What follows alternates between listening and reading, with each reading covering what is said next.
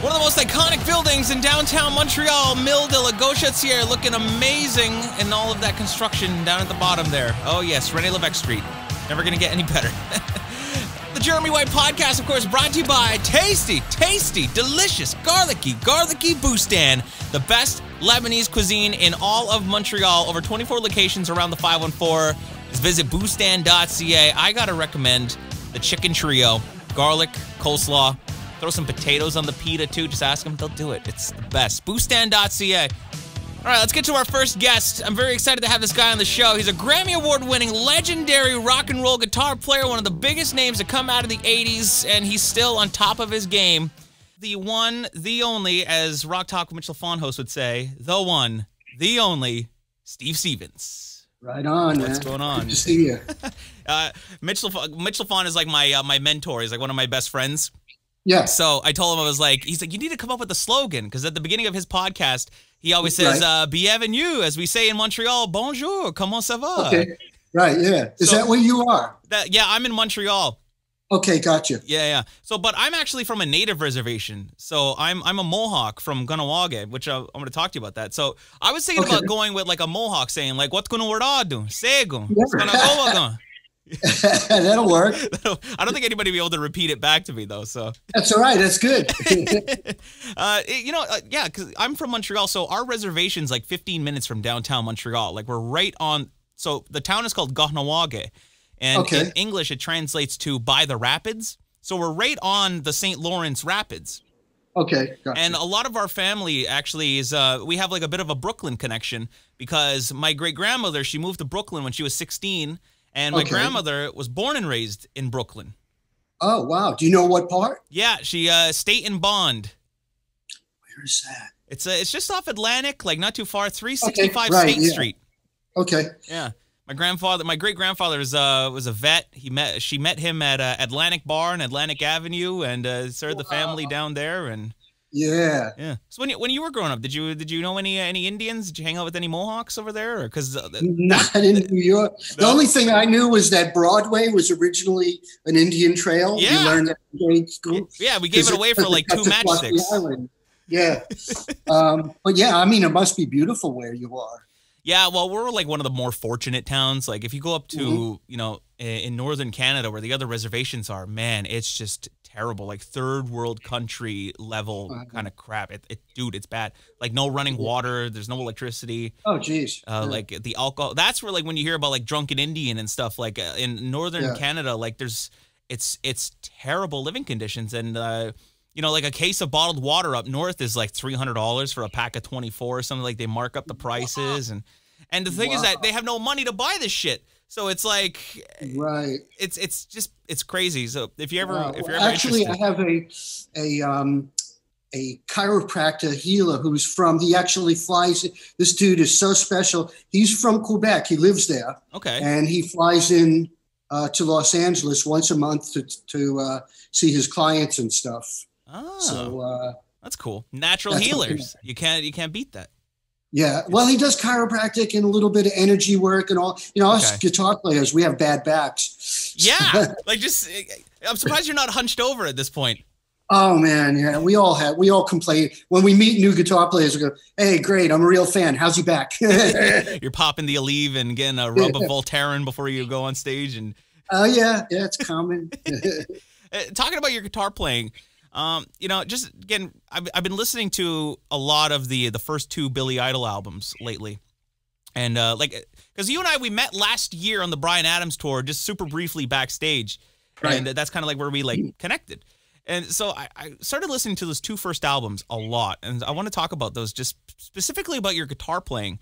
You know, on on the um, you know, you go from Billy who has his roots in a lot of punk rock, right. and then you know you were kind of more like didn't you get only get your first electric like electric guitar when you were 13 you were playing acoustic Did I? Yeah, I. My dad brought a guitar home for himself when I was, I wasn't even seven years old yet. Mm. Um, but he didn't have the time to put into it. You know, he was blue collar worker. uh, Got home, barely had time. You know, he's barely had enough energy to eat dinner, and you know, so the guitar ended up in my bedroom, and um, and this was the time of uh, you know folk the folk uh, scene was really popular. James Taylor, Right. Joni Mitchell, all of this. And in my neighborhood, although I was born in Brooklyn, I was raised in Queens and Rockaway. Ah, There, there's my Indian uh, connection. Rockaway is in yeah. Indian. Um, so uh, there was a very famous protest singer from Rockaway named Phil Ochs, and um, Okay. his sister was my first guitar teacher. So I spent all those years uh, playing, um, a lot of uh, you know folk, folk, and a little bit of country Right. guitar. And then 13, I got an electric guitar. So do you think that when you came when it came to recording those albums, you know, not having necessarily just that straight up, you know, three chords and the truth kind of background, you know, you were playing real kind of if you're going to play classical and folky, you know, you're doing a lot of finger stuff and you're doing a lot of kind of expanded chords and it's almost like orchestrating different parts but within the same kind of finger arrangement, you know what I mean? So when you went to record those albums because I listened to that second Billy Idol album, and there's so much going on in the guitar realm that I don't think anybody really talks to you about because, you know, at the time you had Pyromania that came out in January, Right. and then you had Billy Idol Rebel Yell that came out what November I think of '83. That's right. Yeah, Yeah. November. So Yeah. at the time, in my mind, the only people that mm. were doing really cool orchestrated guitar parts like that was Def Leppard and you. Yeah, I mean, this was, uh, you know, we started recording that record in uh, late 83. And, um, the, you know, keyboards were all the rage. It was new wave and all this Yeah. kind of stuff. And I was, I was not going to let keyboards on the record. so I had to be inventive with my guitar stuff. And I made a deal with our producer, Keith Forsey. I said, let me try and do on the guitar what we would imagine a keyboard doing. And if it sucks, you know, no no harm done. Then you bring in the keyboards. Just wipe the And- tape and we'll do it again. Yeah, and um, unfortunately, it gave the record a, a kind of a unique edge uh, because a lot of the guitar stuff was, you know, more than just a heavy rock thing or whatever. And you know, it was really the the the the sum of the parts. Billy, obviously coming from the punk rock thing in in, in London, started at the same time as the Sex Pistols with Generation X Yeah. our producer Keith was had worked with Giorgio Moroder and did those Donna Summers records. So he's like a dance disco guy. So you And got then I was- influences from all over the place. Exactly. And we all brought our specialties, I think.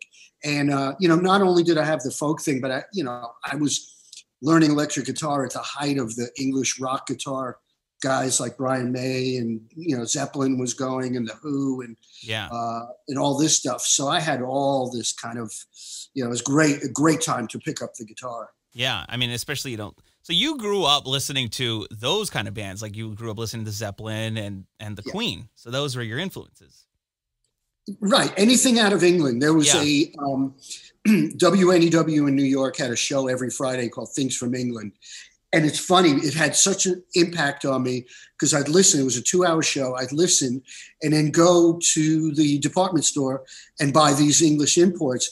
and I've recently heard Paul Stanley talk about exactly that. He was listening to that same show and getting all the English imports and stuff. So uh, Yeah. really influential on on us New York kids at that time. Was it was the Raspberries an English band?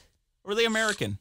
American. Yeah, they were Yeah, but so so inspired by by uh, UK. you know a lot of Beatles and you know kind of uh, uh, zombies and all that kind of stuff. Yeah. I want to talking about your guitar work on those albums. You know, you were one of the first to kind of have a really, really processed guitar sound. In the sense, Mhm. like you know, you, you listen to everybody talks about Eddie Van Halen and his use of delays on like Cathedral and stuff, and but you listen to some of those clean tones that you're doing with like the nice chorus and like there's a lot of delay going on in there. Where did you get the idea for all those guitar tones that you were using? Um, I mean, it was you know Rebel Yell was done in in Electric Lady Hendrix Studio. Yeah, And back then, you know, th- this was the days of big budget albums, so we had Lockout. So I was so inspired, man. I mean, you know, I grew up in New York, and as a kid, I used to go to the movie theater next to Electric Lady, you know, to see uh, Kids Are All Right or a rock film or whatever. they had the all night rock.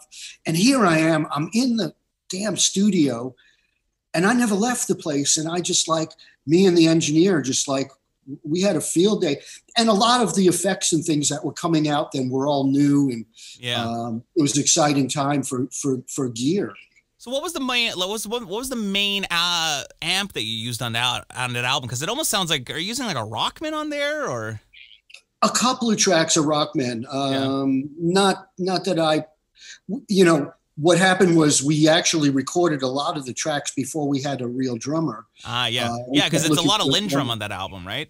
Right. So we were looking for a drummer. So some of the guitar tracks, Blue Highway, uh, was done with a rock Rockman. I always said I wanted to replace it, but oh, it know, sounds great. Why would you do that? I mean, I guess it, you know it is of the time. You know, it is. You know, yeah. Now I look at it and go, yeah, I guess it's okay. But at the time, but but the main guitar amp was one that I uh, I had since the band I was in before Billy Idol. Mm. I used to build pedal boards for guys, and one of the guys gave me this vintage amp and uh, actually had Jim Marshall's signature on the inside of the cabinet. So it was a, yeah, it was a, a, early 70. I got lucky. I didn't, you know, got this amp and uh, I still have it, still record with it. Nice. And it's a little good luck charm. Yeah. I mean, that it doesn't get more legit than that. You got the man's signature inside it. Yeah. you know? So, yeah. so you, you did a, use a Rockman on a couple of those tracks, but you know, I'm listening to the guitar arrangements on the album though because there's a lot going on and it's you. And as soon as i hear it like i i hear you. Like that is how you sound and that's your tone. But and you said that you wanted to replace the rockman sound. But what's in my mind you know a lot of people talk about modern sounding records. And i mm-hmm. think every rock band that puts out an album now it all sounds the same. They're all using the same drum plugins. They're all using the same virtual amps. Everything sounds the same. So when you hear a classic album like that and that classic guitar tone I think it's awesome that it has a distinctive, recognizable sound right away. Yeah, I mean that's this was the days of guitar players had to find a unique voice, and yeah, all of those, you know, and I, hopefully I'm one of those guys who like, you know, you strive to to have to be able to play three notes, and people go, I know who that. I mean, whether you think Neil Young is brilliant or crap, you hear three notes of him. I think he's brilliant, but you hear three notes and you go, that's Neil Young, right. and um, and that's that's uh, you know, and and uh, same with Kurt Cobain. You know, not terribly tech, tech technique savvy, but you know it's him. And I think that's the most important thing. Uh, it goes for singers as well. Sometimes you know, singer may not have the greatest range or greatest pitch, but I mean, Dylan is the perfect example, or Hendrix. They're not trained singers, but you know it's them and it's yeah. the emotion behind it. As soon as you hear uh police, you know, you know, it's it's yeah. Jimi. You know? Yeah, That's exactly. Jimi he was very shy about his singing. You know, he did not he was not a fan of, of his own voice, but right. could you imagine anybody else singing that? No. No, not at all. And then it's yeah. you know, it's it would be weird to hear somebody else actually singing it. Yeah. That should be one band that should never be covered ever, Hendrix. It's a hard one to do. Yeah, yeah. yeah. Although Stevie Ray Vaughan did did, did oh, justice. Oh, Stevie, man. Man, the yeah. guitar player on that guy. It was interesting that you'd bring up Stevie Ray Vaughan. You know, in the 80s, was he considered a good guitar player? Oh yeah, yeah. Yeah. It's funny. Or was it like or was it just like in like the guitar circles? Everybody's like, oh, Stevie Ray Vaughan. But like in the general mass pub like population, was he a guitar hero? Yeah. I mean, that record when he the first thing we heard from him was obviously David Bowie, and um, they were recording. New York was a, at that time in the early '80s was a real close knit thing of everybody knew you know saw all these studios happening and everybody yeah. knew what was going on, and we heard word that Bowie's got a hot guitar player, you know, working with him. Like, ooh, who is this guy? Nobody really knew who he was, and then. Um, uh, I guess Let's Dance was the the first uh, yeah, first so. single off that. Yeah. I went, oh, that's the guy.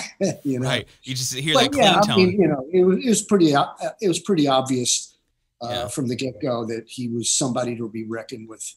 And then you know you hear stuff like Pride and Joy and that rhythm. Oh my god, man! Yeah, yeah, incredible. We have a guitar player here in my town. His name's Donnie Breezebois, and the dude uh, plays exactly like Stevie. It's insane. Yeah, yeah. yeah and it's all in that rhythm. It's all in the handwork, and you know, like be able to go from the chord and then like into the solo and then go back. It, it's such a technique. It's yeah, and it's an undefinable thing between the lines are blurred with guys like that between rhythm and lead, like Hendrix. Yeah, they they just meld it all together, and it's uh, it's great when they can do that. There's no. not many guys who can pull that off. Yeah, exactly. You don't hear him using a super processed tone with tons of delay, though.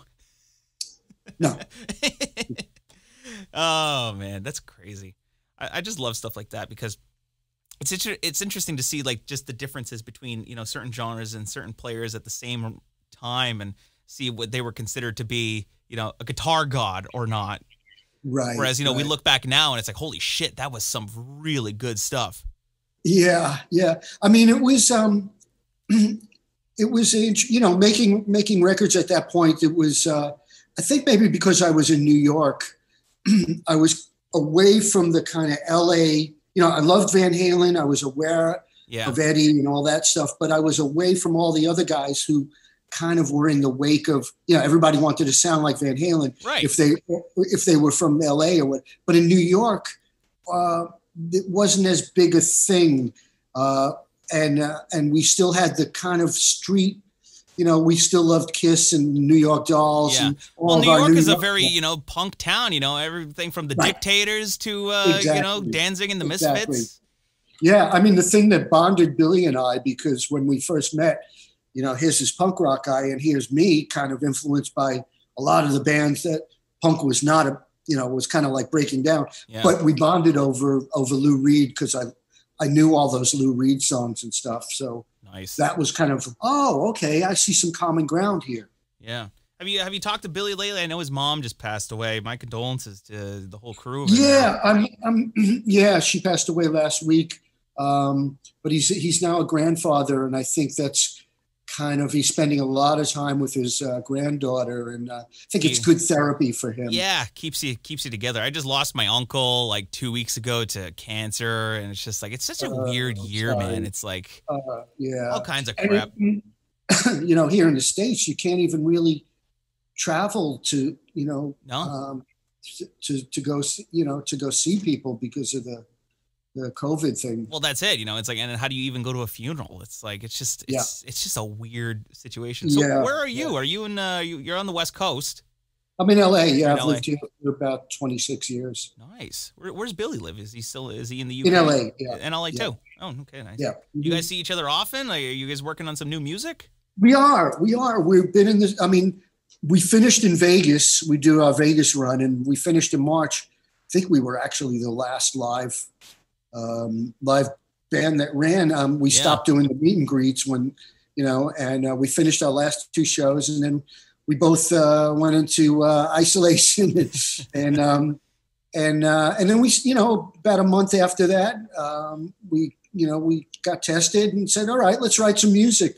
Nice. So we've been been writing and still product. I mean, that's you know that's that's what we do. And Oh, I guess I that's mean, all you can heart- do. You know, you're musicians mean- at the end of the day.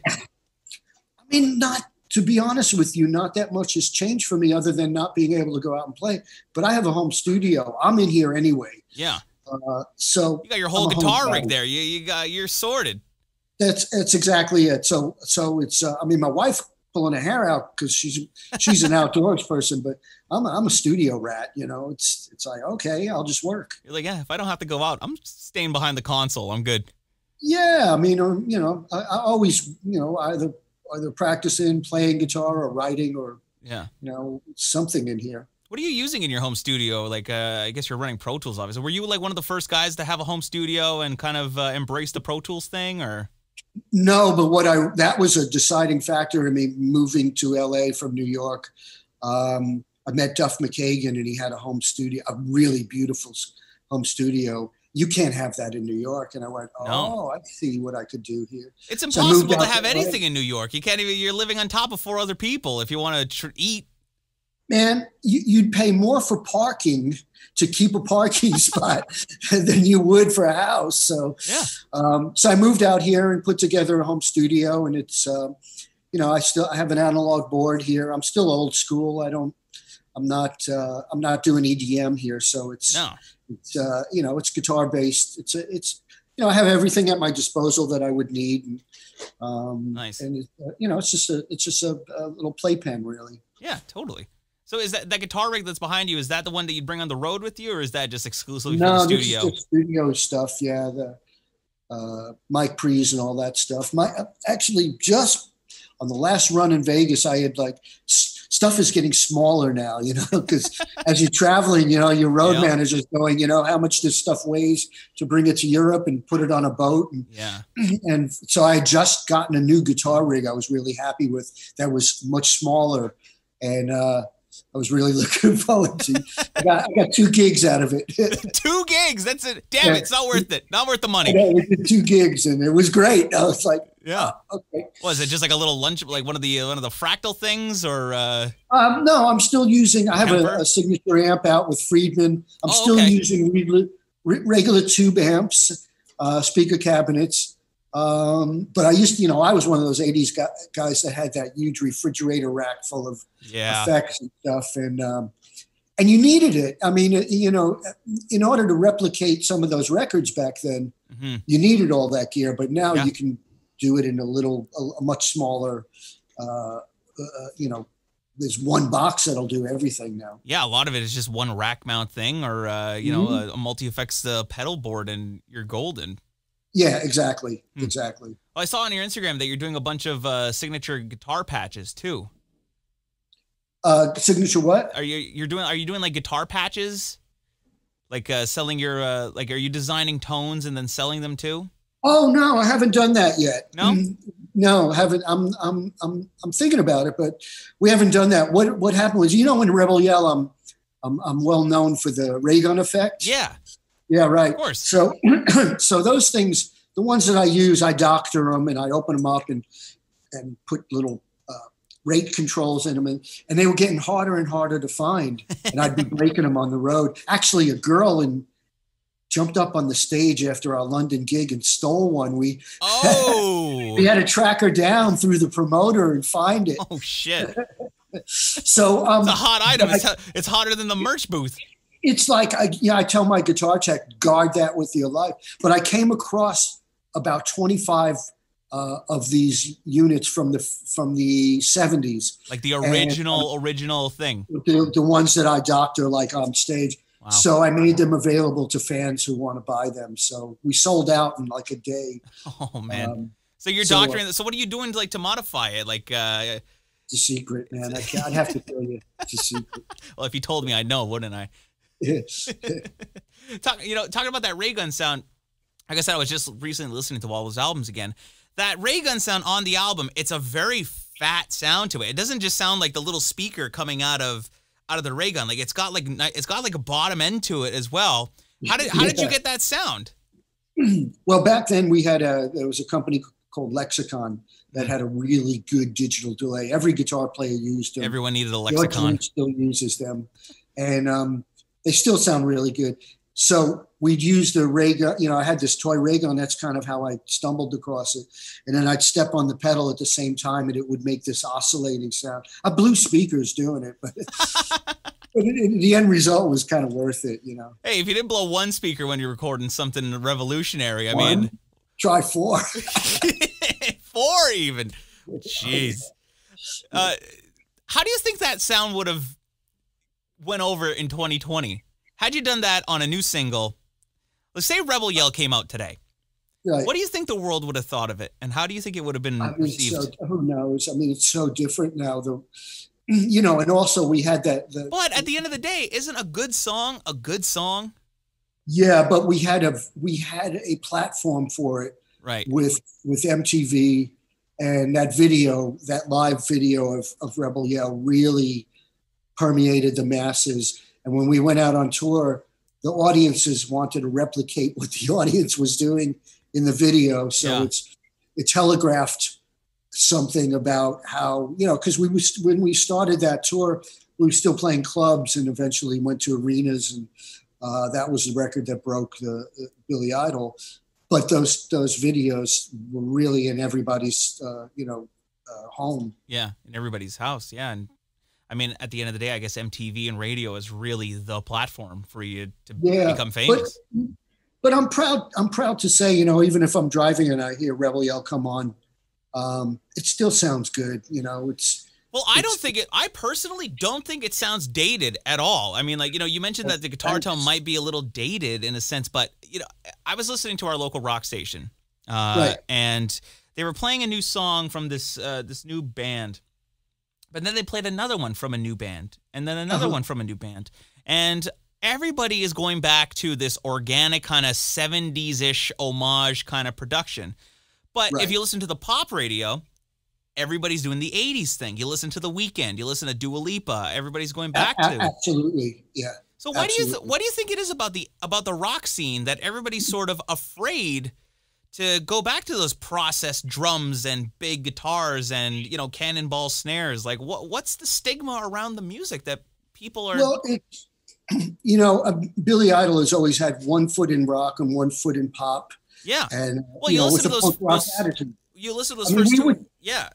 Yeah, we were definitely trying to to to create singles and and and uh, memorable tunes. A lot of the tunes were, you know, why should we put a guitar solo on it? Is there a reason for it?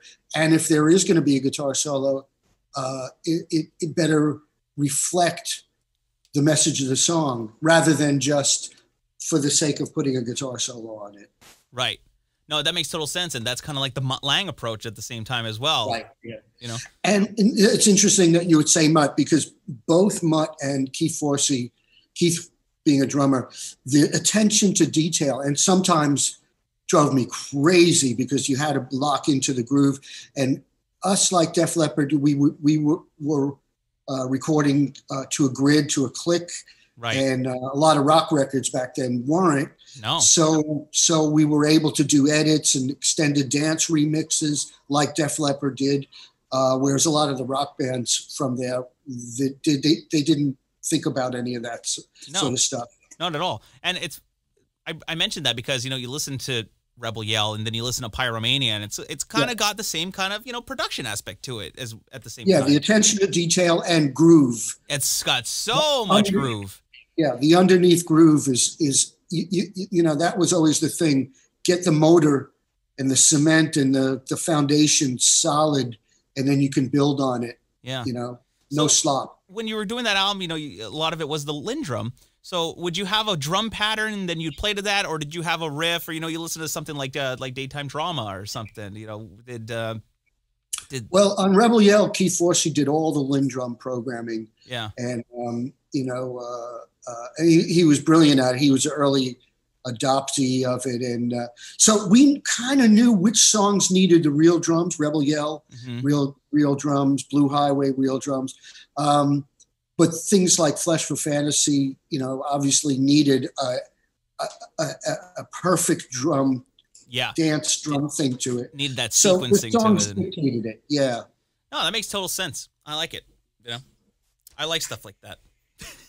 yeah, I mean, it's you know, I've always liked like com- you know, th- there's no rules, man. There's no you know, you try stuff and and see if it works. And and half of the t- you know what I always tell guitar players, you know, budding guitar players are you doing these uh, online classes for rock and roll fantasy camp now. Right. And I tell people it's not really what you know; it's the mistakes that you make so that you don't do Yeah. that again. No, totally. That's how you get knowledge. You have to screw up to It's- know what to do. And we screwed up a lot, man.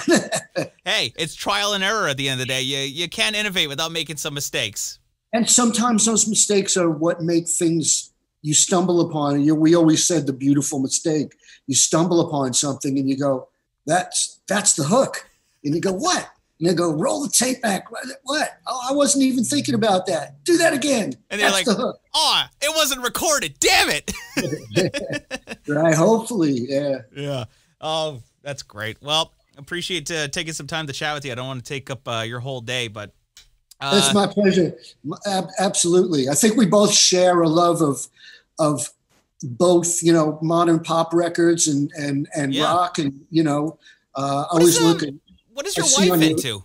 Like, what does she listen to on if she, you know, she's hanging out around the house or whatever? You know, she's giddy. She doesn't know what to do with herself, and you know, she's got some music on in the background. Like, what's she Well, she grew to? up as a as a metal kid. She used to go to like see Deicide and you know Oh, Slayer okay. and all this. But now she she's all about. Uh, she likes the the the, the Beyonce and um, and uh, you know she likes modern records, which is great for me because she'll play me something or I'll hear it Yeah. I go, oh, that's cool. That's you know, that's a good hook or something. Because you know, good song, like you said, good song's a good song, Yeah. and you have to have something that's that that's memorable and and I think a lot of there's a lot of cool sounds on modern pop records. Yeah, and there um, is. And um, um, you know, if I can if I can adopt some of those things, because the listeners are used to this huge bandwidth because of you know uh, pop records have tons of bottom end and you know they're great production on those records is great. I mean it's it's next So, level. Uh, if you listen to the new album from the Weeknd or, or Dua Lipa you know Dua Lipa and like i was saying like everything old is new again in the sense that you listen to the pop side and you know the Weeknd and his album it's super 80s and then you listen to Dua Lipa. You know, she- of that influence. Yeah she Yeah. just sampled uh, INXS uh, need you tonight that bow bow bow like that Oh, whole part. God, and she she took that and used it as the, the hook of the, her song. It's a number one on pop radio. Uh, yeah i'll have to listen for that because Yeah. that's an awesome hook. It's called it's called break my heart by Dua Lipa and it's okay fantastic. I'll check it out. Yeah So are you, are you going to be taking some uh, influences from uh, the uh, modern modern pop stuff and throwing it on a Billy Idol Well, song? It's it's sonically, yeah. The some of the stuff we're working on is is uh, is sonically. Um, uh, I can't say who we're working with as a producer right now, but he's definitely somebody who's making those records. You're that- not working that- with Max Martin, are you? No, no, no, no, no. He's a rock and roll guy, but he's a he makes modern records, and and the combination is great. I wish I could say, but but I'll, I'll, I got to keep it in the in the can right now. trying now. to think who it uh, is. Is it Watt? but Andrew uh, Watt? What's that? Is it Andrew Watt? No, it's not. No, no. I'm just Although we keep, would. I'm gonna keep throwing names out there. Oh, Watt is amazing. What he did with Ozzy, phenomenal. Yeah, yeah, Yeah. exactly. What did you think of that Ozzy album? Did you did you listen to it? I, I mean, sonically is great, and the Yeah. and the um, and the um, uh, you know the the it's. I mean, come on! Anytime you get to hear a new Ozzy record is is awesome. You know, I'm I'm a huge fan of of uh, of of Zakk and all that. You know, and and love that, but. Um, it's not that kind of record, but it is. It is a really good record, and Yeah. and uh, you know some of the ballad stuff on there is awesome, and yeah, it's great. I like the I like that record because it's a big production. I'm a big I'm a fan of big production. Like I said, you know, I was listening to this this new band and their sound. It sounds like a record from 1974, and I'm like, okay, that was cool in 1974, but it's 2020. Right. Why are you making it sound like crap? You know, make it sound big. You know, Yeah. instead of these uh, Yeah. four mics on the drums, you know, uh, do something good with it. yeah, yeah. Anyways, all right, man. Well, uh, I know you're available on Cameo and stuff, so uh, people can uh, book you on Cameo, get your birthday messages and all that. And I also like the fact that your prices aren't like super cheap. You're not taking advantage of your fans. No, no, and a lot of a lot of people are asking. I'm getting a lot of guitar players who have a question about a song. Now, I'm not doing lessons on there, No, but I will show you a, a, a bit. And if they're specific and say, "How do you do the second part of that?" I have no problem yeah. showing people. You know, if I can pass on a little knowledge. So, Like, uh, hey, Steve, can you show me the jangle part in uh, daytime drama? Or Oh know? yeah, I'm getting. I'm getting all of that. You know, it's it's fine, man. It's all good. You know, Cool. if I believe me, if I could have done that and asked Jimmy Page, you know, uh, in the Rain song, the third chord, what the hell is it? Imagine. I would have been all about that. yeah, I would have been all about it. that's nuts. All right, Steve. Well, thanks a lot for taking some time to chat. Uh, so, new music from Billy Idol in 2021. Can we expect it? Um, I, maybe even sooner. Soon? Ooh, like late 2020? Possibly. Like put it in my uh, my stocking or? Um, yeah, right. That's that's you know maybe maybe man. Right. We're we're we're buzzing along. Good. I'm excited about that. That's cool. Great. All right. Well, thanks a lot for chatting, and uh, we'll catch up, man. Appreciate it. All right. Thanks, Jeremy. All right. See you later. Bye bye.